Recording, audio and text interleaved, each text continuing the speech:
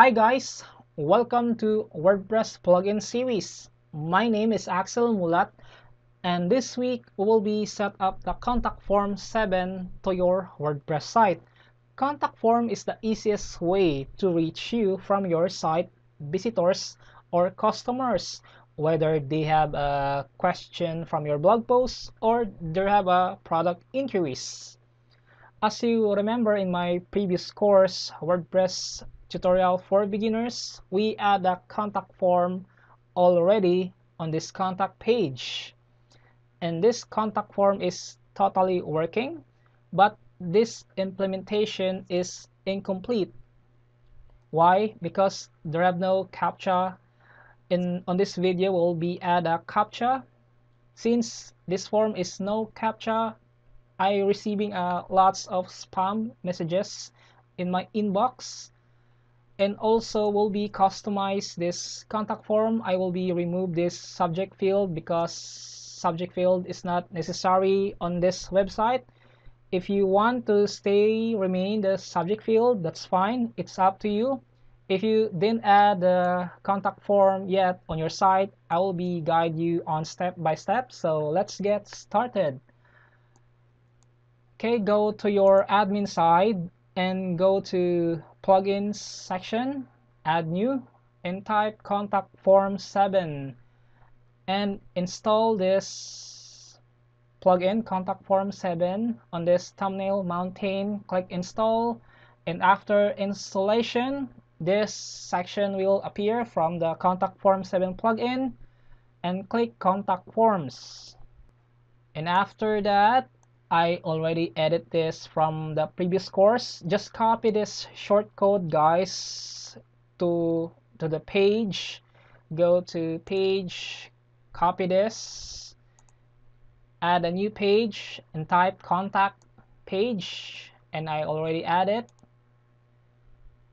here I add a shortcode on this page and save okay we'll be back to we'll be edit this and customize edit. Okay we'll be start in the form tab. As I said I will be remove the subject field. I will be replace a drop down field. Okay remove this. And I will be edit this question about this is the new field and I add a drop down. You can add uh, different fields in your contact form if you want. After adding the form don't forget to add the syntax also in the tab mail. This is the form syntax. This your mail your name your subject. You can add a date text area checkbox and so on. In my case I add a drop down menu only I put my cursor here and drop down required field. And this is the select in the drop down. Check this insert a blank item insert tag and this is the new field. Select this is the syntax on this field. I will be copy this copy and will be add this in the mail tab. Since I remove the subject field I will be remove this remove will be replace that and will be remove this subject and replace the like that and will be replace this question about the subject has replaced a question about and the subject now is the plain text. Okay we'll be check to to your email your email from customer email this and reply to the customer email or visitor's email in the subject and will be customize this will be remove this. This is the syntax guys. Your name your email. Email. And the message body is the last. Will be add additional syntax here from contact form 7 I will be copy that from my site axlmulat.com copy this syntax and paste here. This syntax from contact form 7 supports page. I'll add a extra field in the email IP address. This is the syntax customer's IP address and the date server time we will be add additional function guys on this form the auto respond email. This mail to check this. This function is will be sent automatically message to your visitors. If the visitors fill up the form in the contact page if the visitors click submit I'll receive an email from my inbox and also the visitors receive an email too a email notification. This is the your email. This is customer email from from me. Subject will be replace this and will be replace this the message body. I have a text here. You can add in your own text.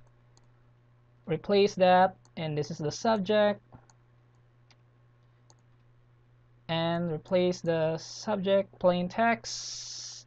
Thank you for contacting icraftwp.com this is the subject body message. Hi thanks. Thanks for contacting us. Will be response later as possible blah blah blah. And this is the auto respond email. I think this is complete form tab in mail tab hit save and now guys we'll be add the reCAPTCHA. Go to integration and as you see we need to configure this click this open in a new tab sign in to your Google account or Gmail account okay we'll be add a new reCAPTCHA this is from my site and we'll be add separate on my site iCraft WP register a new site label your site and choose the type of reCAPTCHA click this reCAPTCHA and the domain your domain like that and accept the terms register. And now this is the key of the reCAPTCHA okay we'll do this in step by step. Configure keys. Click. Okay site key. And the secret key. Secret key. And save and don't forget to paste this under the close head tag. Copy. And already save. Will be edit the theme guys. You can do this on your file manager or you can use FileZilla. We will do that directly here. Go to appearance editor. Appearance click new tab okay let's find the header.php this is the team guys on your team directory. Okay we'll be find the close head tag. Just control F just type here. This is the close head tag. Paste the script before close head tag like that and update the file